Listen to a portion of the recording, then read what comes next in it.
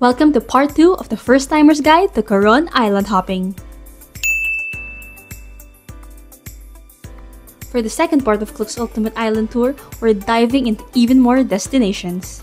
If you missed part 1, be sure to watch it through the link in the caption. For the second half of the day, we're on to the next Coron favorite activity, snorkeling. Our first stop is the Coral Garden, a gorgeous reef beneath the waves. The best thing about the Klook Ultimate Tour is you get to decide your vacay your way. Some of us continued to snorkel, while some stayed on the boat. Next, we're off to Shipwreck Reef, where history and nature meet. This time, some of us chose to ride the crystal kayak and just enjoy the beautiful Palawan scenery.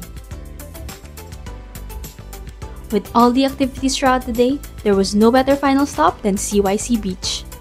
On this tiny and quiet beach, the sand is soft and the water is crystal clear. You can walk around it in just a few minutes.